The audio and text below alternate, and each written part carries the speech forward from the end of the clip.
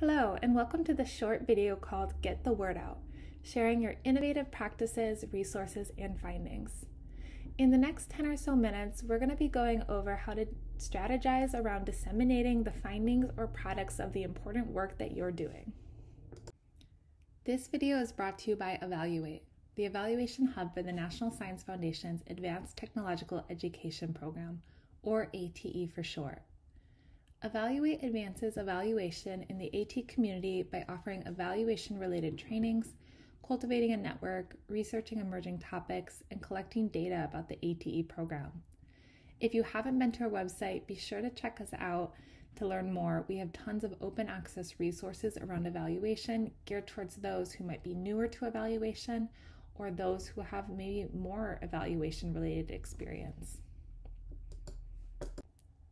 I'm Megan Lopez, Senior Research Associate with Evaluate, and developed these resources alongside my colleague Lyssa Wilson Becho, Principal Research Associate with Evaluate, which is located at the Evaluation Center at Western Michigan University. This is a good time to point out the views expressed in this video are those of the speakers and do not necessarily reflect the views of the National Science Foundation. In this video, we're going to first discuss why we're talking about dissemination. Whether you're a researcher, an evaluator, or project staff, we encourage you to think about how you can clearly disseminate the important work that you're working on. We'll next share a dissemination planning matrix that we developed that's designed to help you think about how you might disseminate your own initiatives. Finally, we'll go through this matrix and fill it out step by step so that you can fill it out using your own project examples. In this video, we will be using this fillable dissemination matrix. If you haven't already, please take a moment to visit the link on the screen to download a matrix of your own. We also have a step-by-step -step instruction sheet at the same link with an example of a matrix already filled out for your reference. Before we get too far into what dissemination is, I want to first cover why we're talking about dissemination at all. And to illustrate why we're talking about dissemination, I'm going to run a scenario by you and I want you to consider if it's ever happened to you.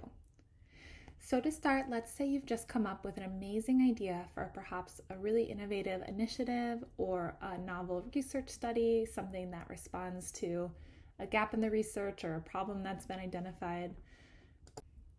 And with this great idea, you've put in now a ton of work to research and develop and implement that study or that activity you had planned. And now it's finally time to report on and share what you've done. But we also know that this stage takes a lot of work. So now you've put in time and money and energy to reporting on your activity or writing up your research results and evaluating perhaps its impact. And now you're ready to share it out. Maybe you send it to those within your university, you've been accepted into a journal, you put it on your website, and you blast it out on social media.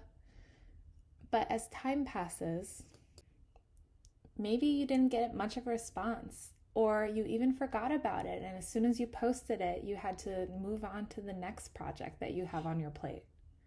Now, I know this has happened to me, and at some point, you end up feeling a little disappointed that this great idea and the important work that you've done is sitting on a figurative shelf collecting dust. Today, we're here to talk about an alternative dissemination strategy to change the last parts of this story. So, what do we mean by dissemination? Dissemination refers to the act of getting the products or outputs of your work to the audiences who can make use of them and do so in a timely fashion without delay so that the potential benefits of your work that you've done are maximized. So, I know that that was a really quick overview of what dissemination is, but now that we've gone over dissemination, let's build our own matrices using real examples. In building this matrix, we're going to consider intended audiences, intended uses of the products of our work, deliverables, timelines, and the resources we might need to enact this plan. As we go through this matrix, I'm going to use my own example as you think about yours. So we, before we get too far into it, I'm going to share the example that I'm going to use for background.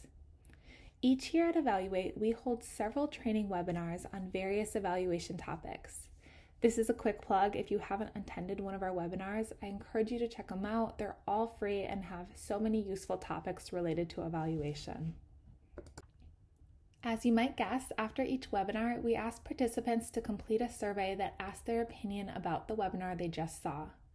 While some of this data is quantitative and easier to analyze, those open ended responses, such as written responses on what they thought was especially good or needed the most improvement, can be difficult to understand when you have hundreds of responses.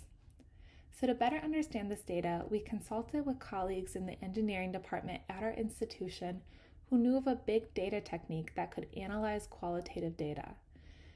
During this process, we realized that there were so many useful aspects of this work that we could share beyond the Evaluate team. Okay, so let's go ahead and get started. To begin, I'm going to direct you to the top of your matrix where you'll see the word initiative. First, identify the initiative or the project that you would like to focus on. Think of an initiative or project activity with products or implications that others might find useful. This could be a research endeavor or an evaluation report or a product created by your larger project. In the example I provided, I'm going to write down analyzing feedback surveys over time. Examples in your own work could include an educational curriculum that you've developed or findings from a research study. Maybe you developed an innovative instructional method or useful materials that others could use. If you need a minute, I encourage you to pause this video and write your initiative title at the top of the matrix. Next, we're going to brainstorm the various audiences that benefit from the products, results, or outputs of your work. Consider those directly involved in your work or those perhaps impacted by it. Maybe discipline specific audiences or academic communities or those within your institution. But don't forget to include your internal team if applicable to the project that you're referring to. For example, my audiences will first include our internal Evaluate team or other ATE project staff and those involved in the same NSF grant, the evaluation community, and as we collaborated with those in the engineering department, we've thought the engineering community might find this useful as well. So at this point, pause the video and take a moment to fill in your intended audiences along the top of the horizontal axis of your matrix. Next, we're going to brainstorm intended uses of this work. So to do this, I'm going to ask you to imagine that you're at a networking event filled with all of your intended audiences. This might include educators and students, researchers, evaluators, practitioners. And as you tell attendees about your initiative, imagine which takeaways that they might find the most interesting or useful to their own work. And I imagine that, you know, each audience might pick out something different depending on what their backgrounds are or their interests. For my project, I think that my team members would be interested in how we can use this data to improve upon our webinars. Those with NSF or the ATE grant might be interested in learning about Evaluate's webinar quality. And finally, others, such as evaluators or researchers and engineers, might be interested in the research methods we use since they were um, relatively novel. So once again, pause this video and fill in potential intended uses you identified along the vertical axis of your matrix. Now we're on to step four, and we're going to begin considering what dissemination strategy will support intended audiences in achieving intended use. So let's start in the upper left hand square and think about intended audience number one and intended use number one. Example might include writing a research article in discipline specific journal, developing a re- report that details your findings, creating a tool or template that others might replicate, but keep in mind that not every use needs to pertain to every audience. And also be as specific as possible. If you plan to present at a conference, include the specific conference, the presentation format you might use, and the date of that conference. Some example in my matrix include building an interactive visualization that summarizes the feedback from Evaluate's webinars, or submitting a manuscript to the American Journal of Evaluation. So, with these examples in mind, take a couple of minutes and fill in how you will disseminate the products of your work in a way that gets them into the hands of the corresponding audiences in a way that they will find useful. Remember that there might not be an applicable use for each use and intended audience. In these cases, I just put an X. You will also notice in the bottom right hand corner that I put question marks after a presentation for the American Society for Engineering Management conference. If I'm not totally sure I want to do this, it might just be something I want to keep in mind. Finally, with your team, plan out your next steps. Start with your highest priorities by thinking about the original purpose of your initiative or the needs that it was designed to address. Consider who might take on certain dissemination tasks and what other resources you might need to do so.